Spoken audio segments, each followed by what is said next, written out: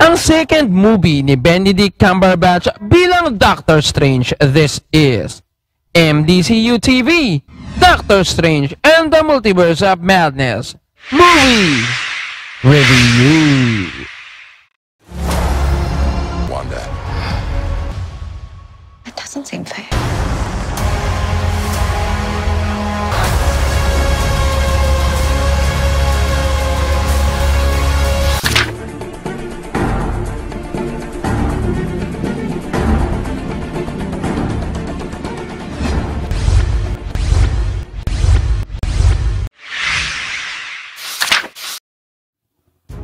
Kumusta mga tropang Marvel fan? At dahil nag-showing na ang second movie ni Benedict Cumberbatch as Doctor Strange, it's time para ating i-review ang movie na ito. Ating alamin kung ano pang impormasyon ang ating matutuklasan tungkol sa multiverse. Sino-sinong mga bagong karakter ang dadagdag sa mundo ng MCU na siguradong magbibigay kulay at excitement sa mga susunod na mga movie. This movie review is still my personal opinion as a fan and as a movie lover. Ano man ang masasabi ko na hindi aayon sa iyong opinion ay malaya kang magpahayag ng sariling saloobin sa comment section upang mas maging makulay ang ating talakayan at makapagbahagi ng kaalaman sa isa't isa. Inuulit ko, this is all my personal opinion at di ako professional as a movie critics. This criteria is just the things na hinahanap ko sa mga movie na pinapanood ko. And now, sabay-sabay nating alamin ng mas malalim pa ang aspeto ng multiverse. This is Doctor Strange and the Multiverse of Madness Movie Review.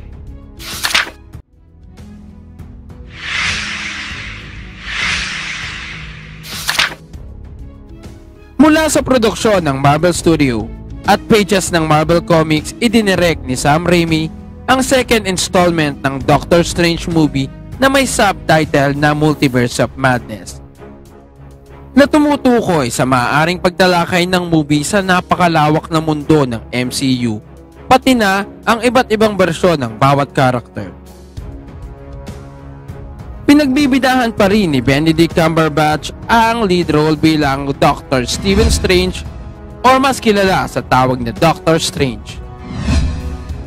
Elizabeth Olsen bilang Wanda Maximoff aka Scarlet Witch. Xochitl Gomez bilang America Chavez. Benedict Wong as Wong. Rachel McAdams as Christine Palmer. Patrick Stewart as Charles Xavier, aka Professor X. Chiwelet Ejiofor bilang Baron Mordo. John Krasinski bilang Reed Richard, aka Mr. Fantastic. Anson Mount bilang Blackagar Boltagon, aka Black Bolt. Hayley Atwell as Agent Carter at sila Shanna Lynch bilang Captain Marvel.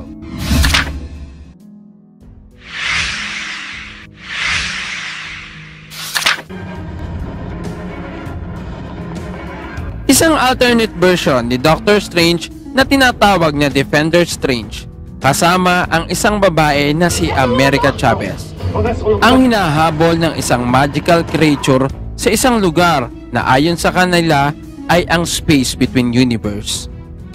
Si America Chavez pala ang nais makuha ng creature at naroon si Defender Strange upang iligtas ito. Nagawa man ni Defender Strange na mahuli ang creature na ito hindi naman ito kinaya ng kanyang kapangyarihan na permanenteng mapakalma o tuluyang mapatay. Humantong siya sa isang desisyon. Ang naisip nitong paraan ay higupin ang kapangyarihan ni America Chavez na may kakayahan na maglakbay sa bawat universe at gamitin para mapabagsak ang nilalang na iyon.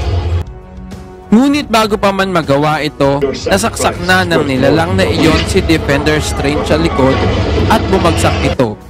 Sa pagkakataong ito, nahuli ng magical creature sa America Chavez at dahil sa takot nito, nagawa niyang magbukas ng star portal kung saan nagawa nito makapasok at sa tulong ni Defender Strange kung saan tuluyan na itong namatay dahil sa tinamong saksak sa dibdib. Samantala, dumalo itong si Stephen Strange sa isang ginaganap na kasalan, ang kasal ng kanyang ex-girlfriend na si Christine Palmer. Humingi ito ng paumanhin at sinabi niya na masaya siya sa mga nangyayari sa bawat isa sa kanila. Sa kalagitnaan ng okasyon, biglang may kaguluhan na nagaganap sa di kalayuan. Tila invisible na nilalang ang umaatake sa syudad. Sa pamamagitan ng mahika, ipinakita ni Doctor Strange ang umaatake sa syudad. Lumantad ang isang interdimensional octopus. Dumating din para tumulong si Wong na sa pagkakataong ito ay siya na ang Sorcerer Supreme dahil sa pagka-blip nito sa loob ng limang taon. Sa pagtutulungan ng dalawa, natalo nito ang one-eye giant creature nang buluti ni Doctor Strange ang eyeball nito at tuluyan ng bumagsak ang creature. Matapos mapapagsak ang creature na iyon nagpakilala si America Chavez. Sinabi nito na may kakayahan siya na mag-travel in different multiverse at dahil sa kakayahan niyang ito, Marami ang nagtatangka na siya ay madakip at ayon dito, si Defender Strange na nagligtas sa kanya ay patay na ay minsan na din nagtangka na agawin ang kanyang kapangyarihan. Ayon kay Doctor Strange, lahat ng nabanggit ni America Chavez na naganap ay alam na niya at nasaksihan na niya sa kanyang panaginip. At naisip niya na ang bawat panaginip niya ay konektado sa iba't ibang variant version ng kanyang sarili sa ibang multiverse. Ipinakita ni Chavez kay Doctor Strange at Wong ang bangkay ni Defender Strange. At dito napansin ni Doctor Strange na ang gumawa nito ay gumagamit din ng witchcraft na siyang humigop sa lahat ng kapangyarihan sa katawan ni Defender Strange. Ibinaon ni Doctor Strange ang labi nito sa lupa at nilagyan ng mga bato. Dahil sa pangyayaring ito, nakipagkita itong si Doctor Strange kay Wanda Maximoff upang humingi ng tulong tungkol sa multiverse. What do you know about the multiverse? The multiverse. Chris had his theories. He believed it was real and dangerous. Well, he was right about both. Ngunit nagpanggap ito na konti lamang ang kanyang nalalaman tungkol sa multiverse at ayon sa kanya, may nabanggit sa kanya itong si Vision tungkol sa multiverse na ito ay delikado. Nabanggit ni Doctor Strange na may isang babae na may kakayahan na maglakbay sa bawat universe na humihingi ng tulong. We found a girl who can somehow travel across it, but she's being pursued. Nang marinig ni Wanda ang tungkol dito, aksidenteng nabigkas ni Wanda ang pangalan nito kahit hindi man lamang ito nabanggit ni Doctor Strange. What if he brought America here? Here. I can protect her. You never told me her name, did you? Lumalabas na may kinalaman ito sa nangyayari kay America Chavez. Si Wanda na sinakop na ang kaisipan ng Darkhold. At inireveal nga nito ang tunay na itsura ng paligid na animoy impyerno at naging si Scarlet Witch. Sinabi nito na gusto niyang makuha ang kapangyarihan ni Chavez para makasama na niya ang kanyang mga anak na si Billy at Tommy na nakasama na niya noon sa Westview. Tumanggi itong si Doctor Strange na isuko si America Chavez kay Wanda Maximoff. And if we don't, Then it won't be Wanda who comes for her. It will be the Scarlet Witch. Kaya nagalit itong si Wanda at binalaan niya itong si Doctor Strange na aatakihin niya ang Camertage, ang lugar na pinoprotektahan ni Doctor Strange. At di nga nagbibiro itong si Scarlet Witch, sinugod niya ang Camertage at ipinamalas ang bagsik at lakas ng kapangyarihan nito. At dito, kumitil si Scarlet Witch ng maraming sorcerer.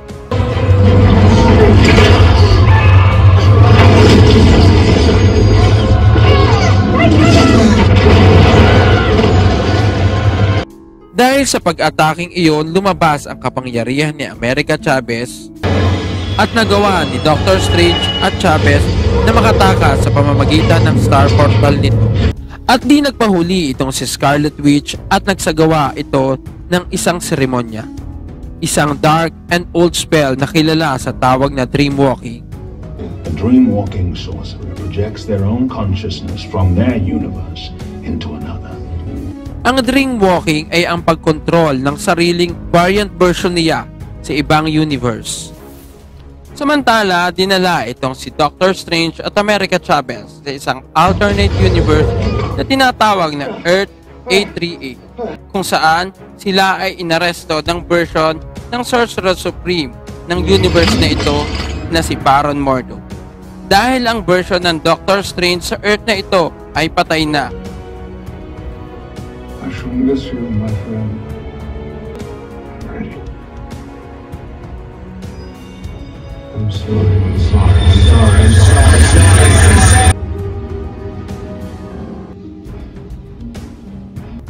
at hinuli nga ang dalawa ni Baron Mordo. Iniharap ni Mordo si Doctor Strange sa grupo ng Illuminati, kabilang sina Baron Mordo, Captain Carter, Black Bolt, Captain Marvel, Mr. Fantastic, at syempre si Professor X. Ipinaliwanag nito kung paano ang kanilang Strange ay naging makasarili at pabaya sa kanilang pakikipaglaban kay Thanos. At napagtanto nila na isang malaking banta sa multiverse ito kaya nagdesisyon sila na ito ay patayin. Hanggang dito na lamang muna mga tropang Marvel at DC fan at mahaba-haba na rin ang ating kwentuhan. Maraming salamat sa inyong panonood. Kaya ano pang hinihintay mo? Mag-subscribe na sa ating channel upang sama-sama tayong magkwentuhan at magkumustahan sa lingwahe na naunawaan natin ng malinaw. Kaya huwag mo kalimutang mag-like at i-share mo na rin at mag-comment kung may nais kang itanong at pag-usapan. Ito muli ang inyong MDCU TV na inyong makakakwentuhan sa channel na ito. Kaya hanggang sa mga susunod na mga video. Maraming salamat. Keep safe and God bless.